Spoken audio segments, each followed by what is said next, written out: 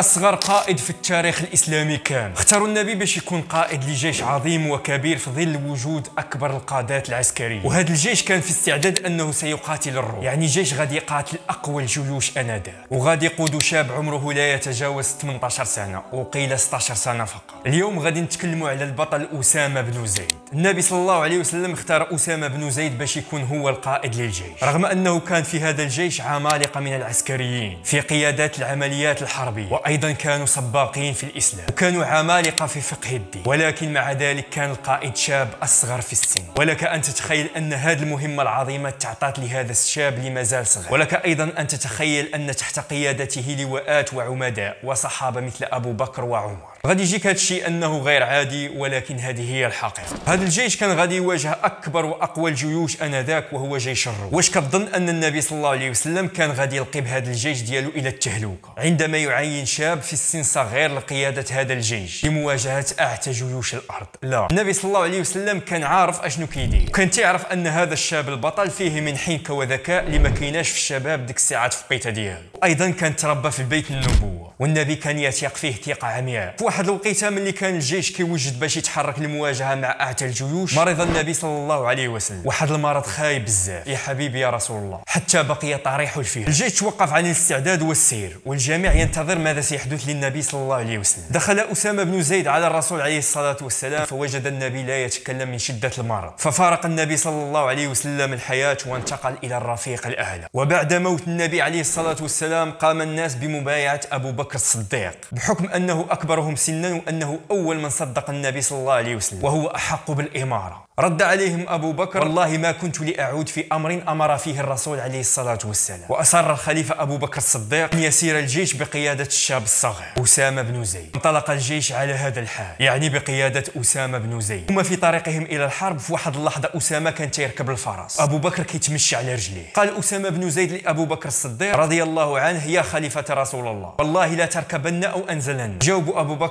والله لا أركبن ولا تنزلن. فما علي أن أغبر قدمي في سبيل الله ساعة. ثم قال له أبو بكر الصديق رضي الله عنه أوصيك بتنفيذ ما أمرك به النبي. استودع الله دينك وأمانتك وخواتم عملك. مضى أسامة بن زيد بالجيش ونفذ كل ما أمر به النبي صلى الله عليه وسلم. وأثبت أنه من القادة المخضرمين على وجه الأرض. حقق غنائم لا تحصى ولا تعد. وعرفت الجيوش المسلمين آنذاك انتصارا عظيما. ومهد الجيش المسلمين لفتح بلاد الشام ومصر وبلاد شمال إفريقيا كلها حتى بحر الظلمات ثم عاد أخيرا بن زيد ومعه غنائم لا تقدر بثمن. حتى قيل ما رؤي من جيش أسلم ولا أغنى من جيش أسامة بن زيد. يعني بكثرة الغنائم اللي جابوا. وبقت ذكرى هذا البطل جليلة من بعد هذه المعركة هذا هو البطل أسامة بن زيد بن حارثة. إذا عجبك الفيديو ما تنساش لايك تعليق وشاركوا مع أصحابك.